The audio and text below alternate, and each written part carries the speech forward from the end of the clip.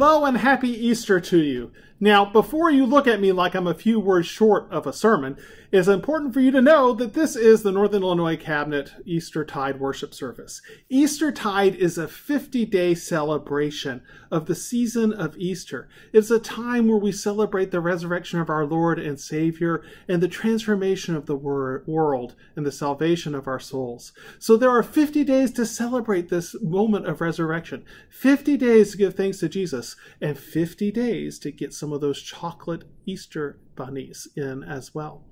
This worship service is designed to be a time to give rest and uh, and thanksgiving to the pastors, the office staff, the church administrators, worship team leaders, and video uh, worship leaders throughout our conference that have been working so hard during this pandemic to provide worship online for so many people. We hope that this is a chance for you all to breathe, to worship, and to be filled once again with the Holy Spirit and all of that rejuvenating power that comes with God, so you might continue in your ministries to reach other people, to make disciples of Jesus Christ for the transformation of the world. Thank you once again for joining us today. We hope that this is a meaningful worship experience for you, that you can feel the power of God uh, with us in prayer and song and proclamation of the word, and that you might leave transformed so that you might change the world. Let us now begin our worship together with a call to worship. Let us pray.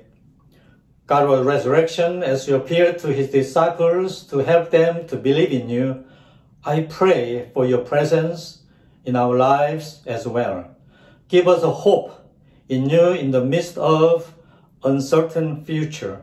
Give us courage to risk new possibilities in a new normal.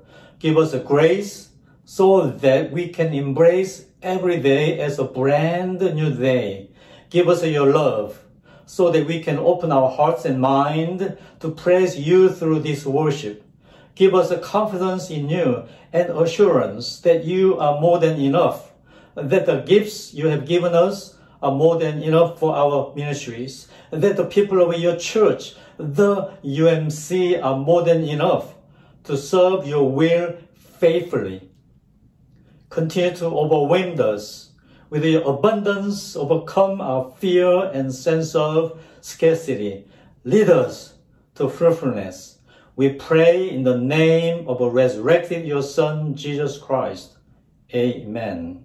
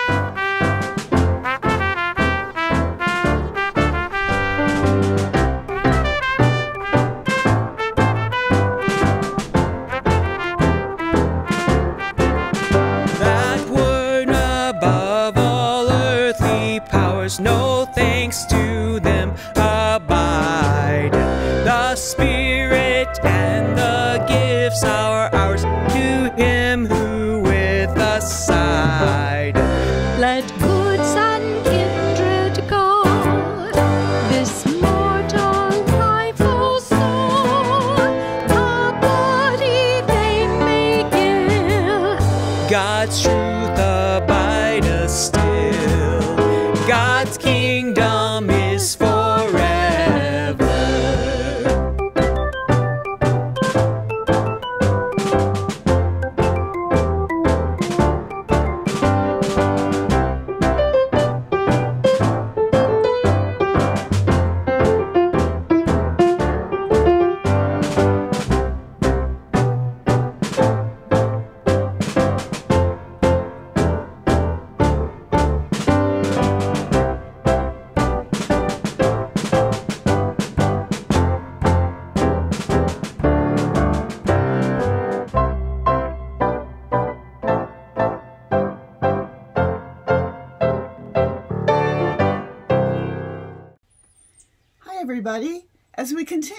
cabinet Eastertide worship, it's time for children's moments.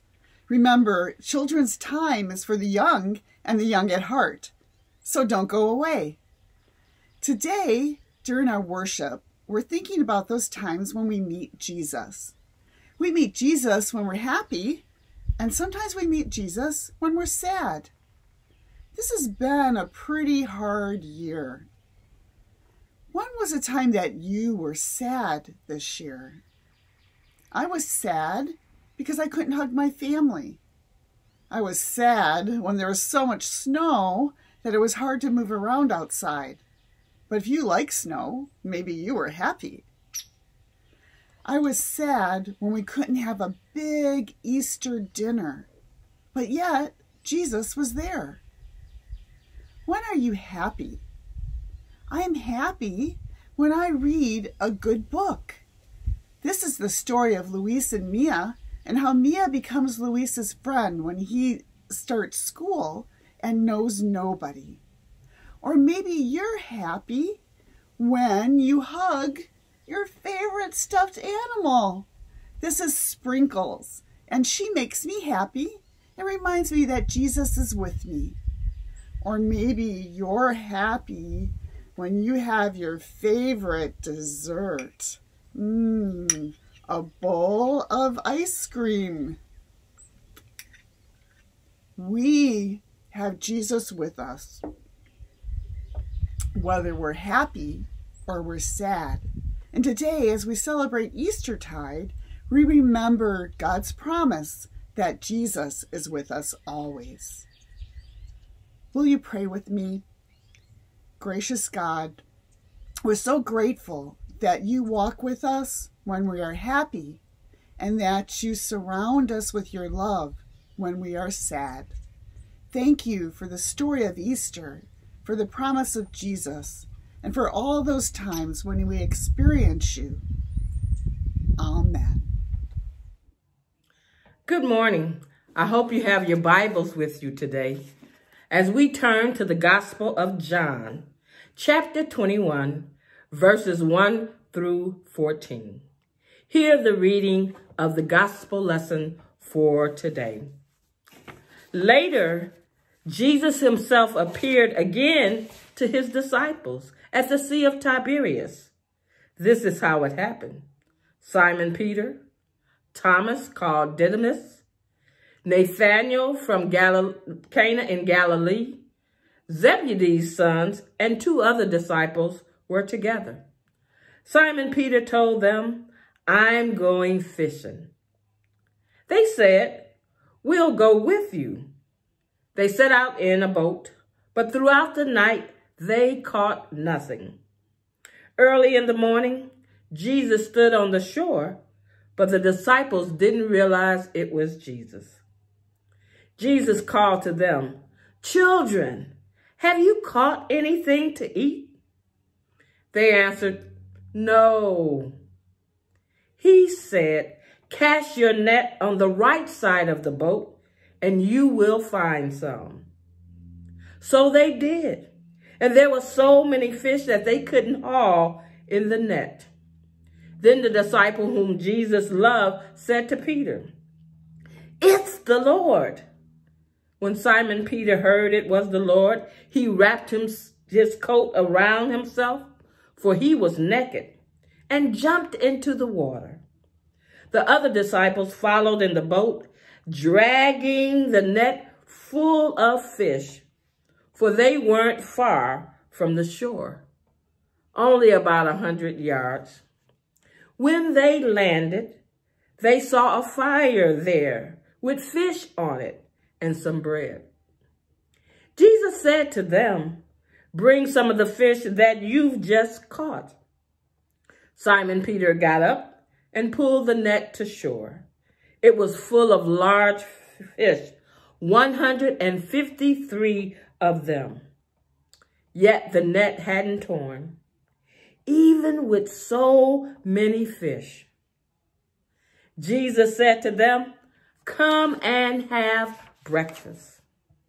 None of the disciples could bring themselves to ask him, who are you? They knew it was the Lord. Jesus came, took some bread, and gave it to them. He did the same with the fish. This was now the third time Jesus appeared to his disciples after he was raised from the dead. This is the word of God for God's people. Thanks be to God. Amen. It is a joy to share a message with you in these days after Easter. We can still proclaim, Christ is risen. He is risen indeed. That's a beautiful phrase, isn't it? On Easter Sunday, the day of resurrection, we proclaim Jesus' victory over sin and death. No longer are we full of sorrow and without hope. Now we are forgiven and free. Jesus has acted on our behalf. Jesus is our Savior.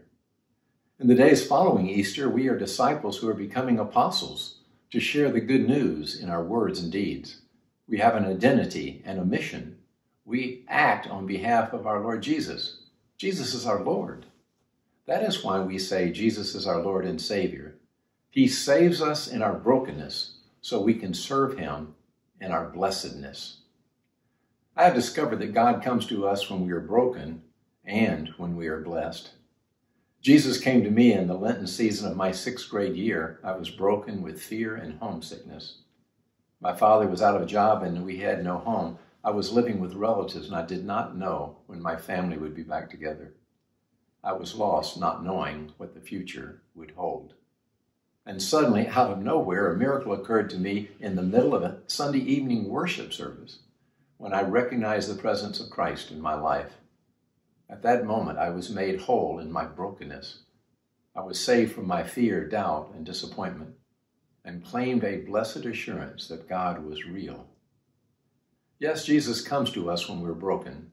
In fact, most people, when they share their faith stories, talk about a time when they were broken, lost, headed in the wrong direction. And many sermons tell stories of how Jesus can forgive us, heal us, mend us, take care of our relationships, and save us when we receive Him into our life. And yet, knowing what Christ has done for us is not enough. Jesus also comes to us when we are blessed, when we are filled overflowing with beauty and love and gratitude and meaningful relationships. That happened to me in the summer after my ninth grade year at Central High School in Fort Wayne, Indiana. It was at Epworth Forest Church Camp in the North Indiana Conference, only a couple of summers after I rejoined my family. I matured early in my sixth grade experience, and I put everything into school. My first year of high school was amazing. I was starting quarterback on the ninth grade football team. I had a lead in the freshman class play. I was a member of the honor roll. And best of all, I was dating the future homecoming queen. Life was good. I was blessed. By the time I arrived at church camp, they call it Senior High Institute, I was blessed and grateful for being back with my family and being affirmed in so many ways. Like most camps, the week was full of activities, sports, Bible study, preaching, skits, singing fun. The camp also had a, uh, a singing group and a, a drama troupe where those people served as role models for us. Thursday was commitment night, and following an amazing service that reminded us about how much God loved us, we made a vow of silence. And for an hour, I walked and prayed around that campus and watched other students. Then we returned to the auditorium for a time of commitment and Holy Communion. When the invitation came to give our, our lives to Jesus Christ, it was not only to be a pastor or a missionary, although those, those are things to be considered. It was to make a commitment to follow Jesus wherever he leads you, to lean on him, to trust him, and to give your all for him. And I remember having a lump in my throat and tears in my eyes as I stood up from my seat and made my way to the altar. I knelt before God not because I was broken, but because I was so blessed. I wanted to be a blessing to others. I did not decide to be a pastor until after college, but I knew Jesus had acted on my behalf, and I wanted to serve him and act on his behalf and live for others. Have you ever recognized Jesus in your abundance when your life was full, when you were blessed? In our scripture, the disciples did not recognize Jesus until their nets were full and they were blessed, and they shared a breakfast of fish and bread. If you remember, in Mark's Gospel, chapter 14, immediately following the Last Supper, Jesus predicts Peter's denial and says, But after I am raised up, I will go before you to Galilee. And then later in Mark, in chapter 16, there's an account of the resurrection. The women go to the tomb, and they were told, Go and tell Peter and the disciples that he's going ahead of you to Galilee. There you will see him just as he told you. Well, our lesson today is an epilogue of John's gospel that fulfills the words in Mark. Here we have a resurrection appearance of Jesus in Galilee, over 70 miles north of Jerusalem, where the crucifixion took place. Jesus appears to Peter and the disciples after they've gone back to work. Isn't that just like Jesus to track us down and meet us where we are? This resurrection appearance is told in a boatload of contrast. On, on one side, it is nighttime, and in the darkness, there are empty nets. On the other side, it is daybreak, and the catch is so great the nets are overflowing. On one side, the disciples are remembering the good old days when Jesus was with them, and they had said, We had hoped that he was the one to save Israel. And on the other side, the disciples all recognized Jesus and looked to a future with hope. On one side, Peter is trying to prove his worth after he denied Jesus three times. On the other side, Peter recognizes a new opportunity to express his love and willingness to serve by jumping into the water and swimming to his Lord. On one side, Jesus has been crucified, dead, and buried. On the other side, Jesus appears unexpectedly and gives new life. We've all been in that boat, haven't we? At some point, each of us has been caught between scarcity and abundance, between despair and hope, between the grave and a faith that will not die. As mature Christians, we have to acknowledge that much of life is bittersweet. We've had those experiences when we were down and were surprised by joy. And we've had those times when our joy was tempted by some unexpected setback. Like being excited about your daughter's wedding and discovering on the day of the rehearsal that she has run up a large credit card debt. Or going to meet your son at his high school graduation and learning that he had an accident that totaled the family car Or saying a final goodbye to a loved one and having a new grandchild born is a sign of hope. Joy and sorrow can be close together, and Jesus is always close by in both of them. In our scripture, it's interesting to me that Jesus was on the shore calling out to the disciples in the boat, and yet they did not recognize him, but they still followed him. It's kind of like the walk to Emmaus in Luke's gospel, where Jesus is among the disciples and they're so busy with their worries and their work that they do not recognize him. But when they listen to Jesus and they cast their nets on the right side of the boat, they made an overwhelming catch, so large that they were not able to haul it in, and yet their nets did not tear. You might say they had more than enough when they recognized how much they had been blessed they could face the realities before them. They could face the future when they counted their blessings. As the Christian saying goes, when the praises go up, the blessings come down, not in a magical way. It is when we remember the goodness of God and experience His power. That's why worship's important, because when we read Scripture and repeat creeds and sing the hymns, it reminds us of what God has already done and gives us strength. Well, this morning I want to tell you that faith in the resurrection of Jesus Christ is more than just looking backwards. We have to anticipate the surprises God has in store for us in our abundance. Several years ago, a Sunday school class for children decided to make ceramic gifts during the Lenten season. They wanted to surprise their parents with a gift on Easter. It was a secret, of course. Each child selected a gift to make. There, there was crosses and Easter eggs, butterflies, and other symbols of the resurrections made in ceramics. Each week they would work with their gift by molding and glazing and painting and waiting for the teacher to fire it and bring it back next week. And then finally Easter Sunday came. The children were so excited they carefully wrapped their gifts and wrote a card to express their love for their mother or father. Dear Mom, Happy Easter, love Kate. To Mom and Dad, Christ is risen. I love you, Billy. Can you imagine how excited they became when the class was over and the parents came to pick them up? One little boy was putting on his coat, waving goodbye, and picking up his gift at the same time, and he stumbled and let the gift fall out right in front of his mom and dad, and it made a loud crash on the floor. His parents looked looked up at him, and he looked down at them, and they had tears in their eyes, and they began. The little boy began to sob, and his father, not knowing what to say, said, "Son, it doesn't matter. It doesn't matter." But the little boy's mother, who was more sensitive to what had happened, she knelt down and gathered the boy into her arms, and she said, "Oh, but it does matter. It matters a great deal." And she wept with her son. To the father, the love between him and his son was secure, and they had expressed that love in the past, and one broken gift would not destroy it. But to the mother, who perhaps knew of the project and expected the joy her son would have in giving it to her, the gift was a new expression of that love. And each new expression of love must be looked for and cherished. In these days following Easter, we must look for and cherish new expressions of love in all of our relationships for there is a lot more broken in our world than a ceramic gift. Political, racial, racial, and economic divisions in our country and our church have broken us apart.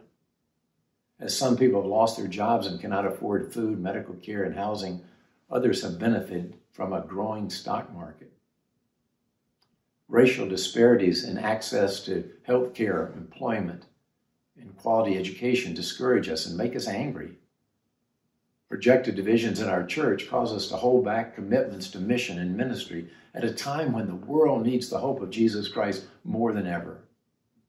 And yet, in the middle of this brokenness, we are called to serve out of our abundance, to put the pieces back together. Jesus needs people to cherish the work of reconciliation, justice, and peace, and weep when relationships are broken. Jesus needs people to represent his way of love and mercy and have hope that is not yet seen. Jesus needs people who can imagine a beloved community on earth as it is in heaven. Can you be one of those people? After the disciples came ashore, Jesus said to them, Come and have breakfast. None of the disciples dared to ask him, Who are you? because they knew it was the Lord. Jesus took the bread and gave it to them, and he did the same with the fish. Just like when Jesus was feeding the 5,000, where there was more than enough for everyone, more than enough. And Jesus will appear to you when you are broken and when you're blessed. Be ready to recognize the resurrected Christ in your life. Live with Jesus as your Lord and Savior. You have more than enough. Christ is risen. Hallelujah. Hi, I'm Jeffrey Bross. I'm the Aurora District Superintendent, soon to be the Prairie Central District Superintendent. And I want to thank the Bishop uh, for his message, teaching us that uh, we can find God's grace and love and hope and peace in our abundance and in our brokenness. That's a difficult lesson for me, uh, probably is for many of you as well. I more easily find the joy of Christ when things are abundant, when things are big. I'm a big collector of shoes. And I remember a children's message one time when I, I brought all my shoes in. I asked the children to uh, come forward and, and, and go behind the stage and grab a pair of shoes and bring them out and lay them in front of uh, the, uh, the altar. And, and um, we had a big wraparound stage and they it filled the entire front. It was embarrassing, to be honest, uh, because I had a lot of shoes. I, I love shoes and I find such joy in them. But I realized right then and there that uh, I sometimes was relying too much on my abundance for my self worth, my happiness, my joy. Um, and I needed to understand that God is bigger than just the things I have and the abundance I have. That was a good life lesson for me, even though I'd preached that kind of sermon many times myself. I don't always live it.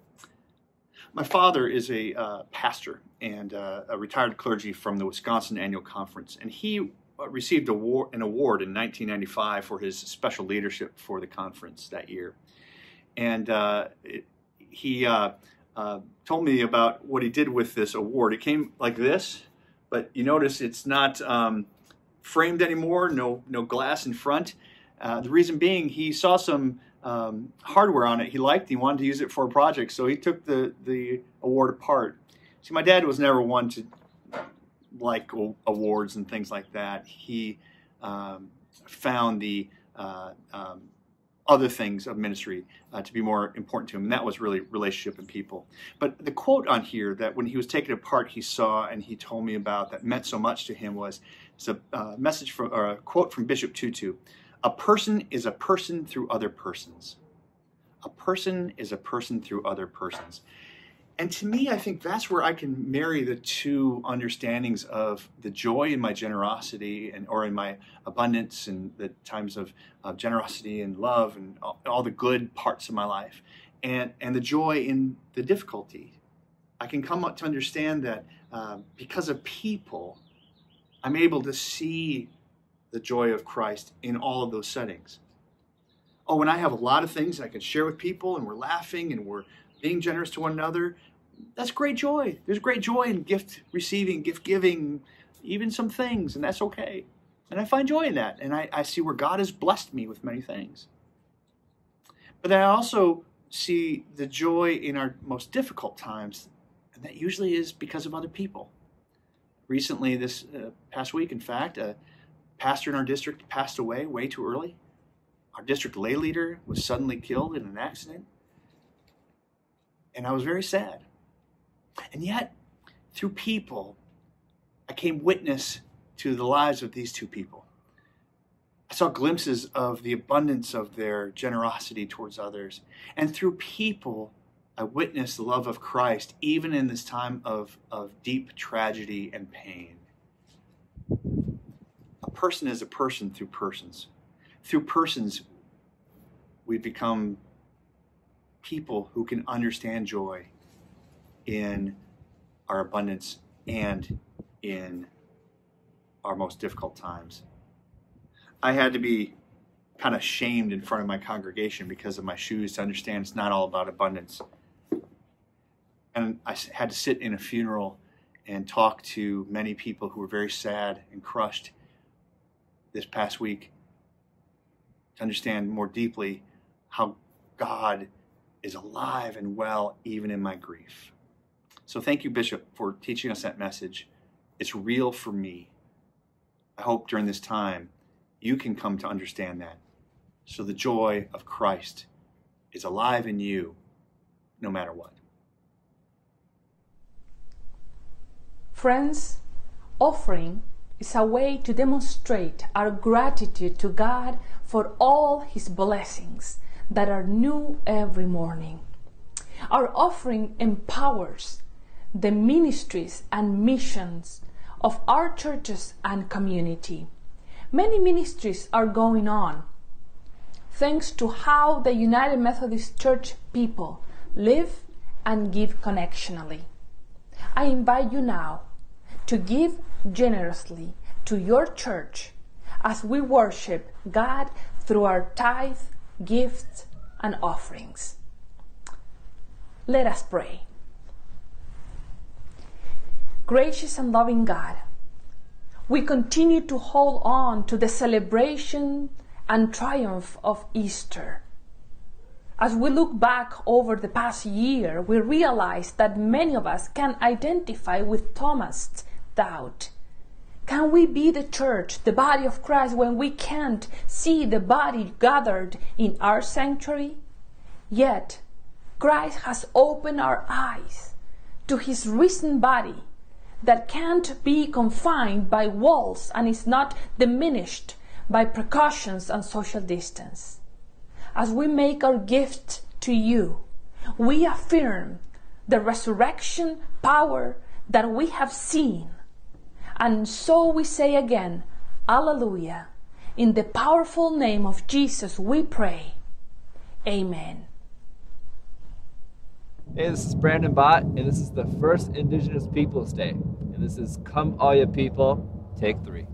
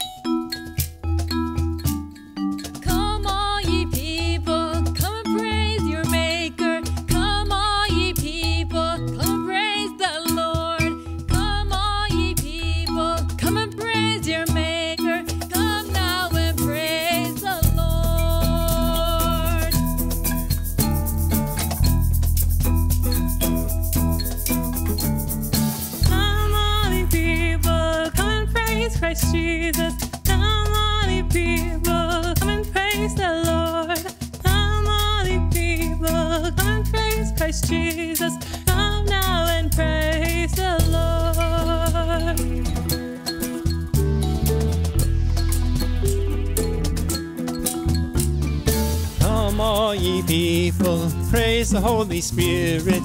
Come all ye people, come and praise the Lord. Come all ye people, praise the Holy Spirit. Come now and praise the Lord.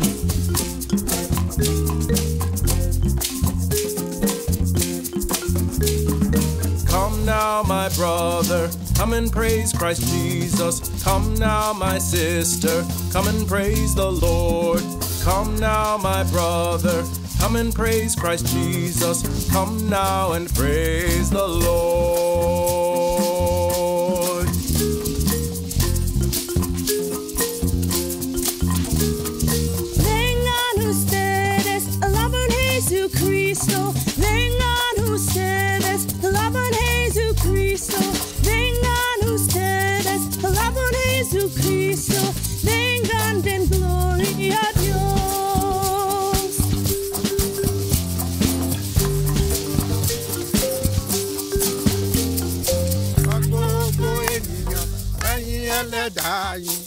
Gbogbo ènìyàn wáyín ẹlẹ́dàá yín.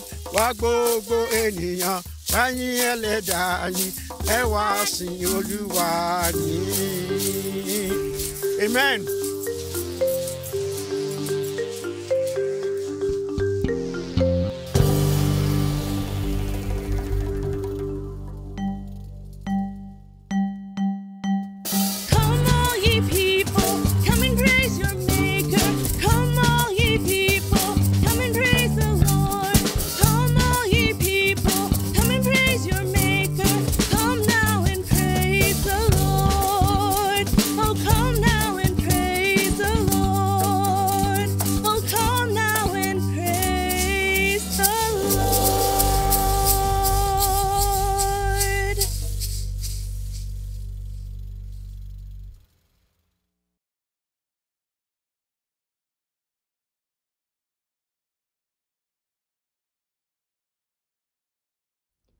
We're now at the point in our service where we will offer prayers of the people. This, of course, is always uh, a very powerful time when we're in person, but we need not let the distance um, keep us from the power of God. Um, I invite you to use um, method of communication to your prayer team so that they can be in prayer with you. Maybe it's uh, you text them, maybe you write in the comments section of the Facebook or YouTube or Zoom. Um, but let us uh, share our prayers with the community, knowing that um, God is is with us as we do this.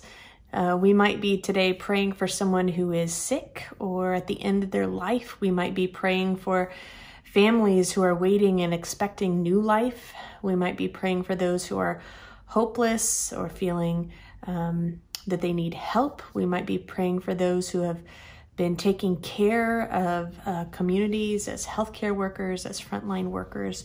All of these people um, we lift up in prayer.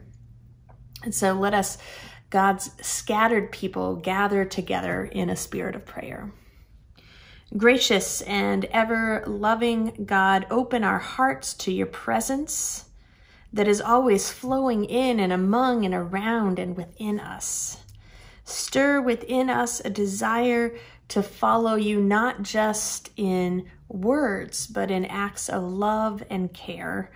For those who need comfort, God, may your grace infuse them and fill them with peace and assurance in your love. For those who are blind to the needs of the world, God, may your grace disturb them, that they might rise up to participate in works of compassion and justice.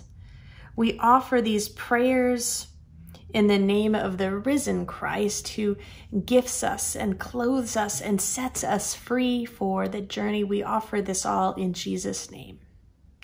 Amen. Now that we've heard the preached word from our bishop and sung songs of glory, now that we understand God's calling upon us during this time, let us go forth from this place to be the gospel that others may see and hear and believe in. Amen.